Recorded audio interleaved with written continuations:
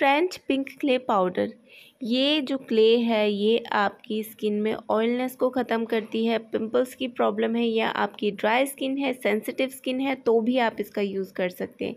ये आपकी स्किन को डीपली क्लीन करता है डिटॉक्सिफाई करता है डेड स्किन रिमूव करता है। ओवरऑल ये आपकी स्किन को बहुत ज़्यादा रिफ़्रेश करता है ग्लोइंग बनाता है। तो इस समर में आप इसका यूज़ कर सकते हैं और ये जो है, मैं एल्फ गुडनेस का यूज़ कर रही हूँ। बिना किसी केमिकल्स के, बिना किसी एनिमल टेस्टेड के है ये और ये बहुत ही बेनिफिशियल है आपकी स्किन के लिए। तो इसके मैं तीन ऐसे फेस मास्क यूज़ कर रही हूँ। आप तीनों में से कोई सा भी यूज़ कर सकते हैं, स्पेशली समर्स के लिए। तो पहला फेस मास्क बनाते हैं, जिसके लिए मैं ले रही हूँ यहाँ पे एक चम्मच फ्रेंच पिंक क्ले पाउडर। अब इसमें ऐड कर रही हूँ मैं दही दो चम्मच, दोनों को हम अच्छे से मिक्स कर देंगे और ये हमारा बहुत ही इजी सा फेस मास्क बनकर रेडी है। आपकी ऑयली स्किन है, ड्राई स्किन है, सेंसिटिव स्किन है कॉम्बिनेशन स्किन है, आप कोई सी भी स्किन वाले हैं, आप इजीली इसको यूज़ कर सकते हैं। क्योंकि ये जो पाउडर है, अगर सेंसिटिव स्किन है, जो बहुत ज़्यादा आप कोई सा पाउडर यूज़ नहीं कर पाते हैं इरिटेशन हो जाता है तो भी आप इसको यूज़ कर सकते हैं। तो ये जो हमारा पैक है, ये आपकी स्किन की इलास्टिसिटी को मेनटेन करता है पिम्पल्स दूर करता है पिंक क्ले में जो होता है सिलिका। सिलिका आपकी स्किन की इलास्टिसिटी को मेंटेन करता है और आपकी स्किन को जो है यूथफुल बनाता है, यंगर बनाता है। पोर्स जो है उनको टाइटन करता है, स्किन को ब्राइटन करता है। इसमें होता है कॉपर जो आपकी स्किन को डे बाय डे ब्राइट बनाता है, फ्रेश बनाता है। तो इसको जो है हम अप्लाई कर लेंगे अपने नेक में, अपने फेस में और इसका जो है सूखने का वेट करेंगे। उसके बाद जो है हम ठंडे पानी से वॉश कर लेंगे। इस फेस मास्क को आप हफ़्ते में तीन बार इस्तेमाल करें अच्छे रिज़ल्ट के लिए। पहले ही यूज़ में आपको बहुत ही अच्छा सुपर रिज़ल्ट मिलेगा।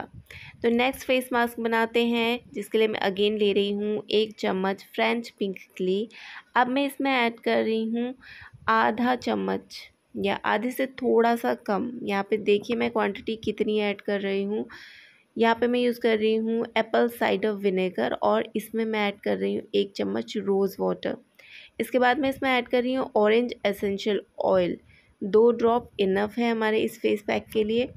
इसके बाद मैंने इसमें एक और चम्मच रोज़ वाटर का ऐड किया था.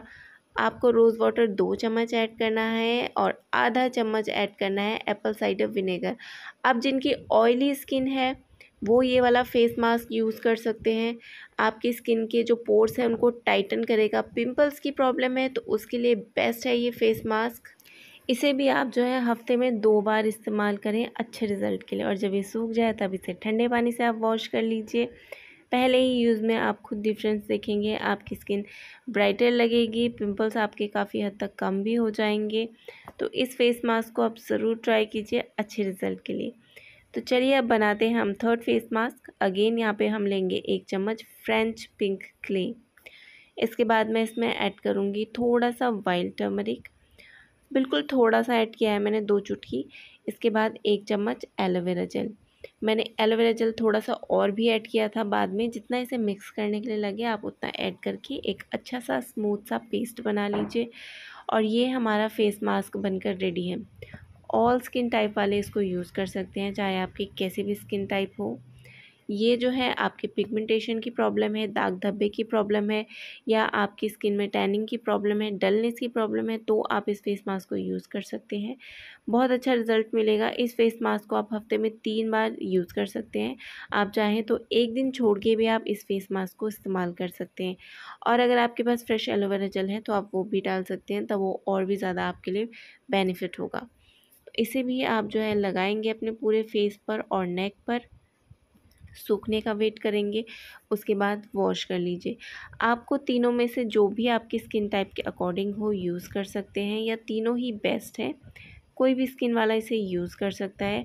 तो आई होप आपको मेरा वीडियो पसंद आया होगा और वीडियो पसंद आया है तो वीडियो को लाइक कर दीजिए चैनल को सब्सक्राइब ज़रूर कर दें।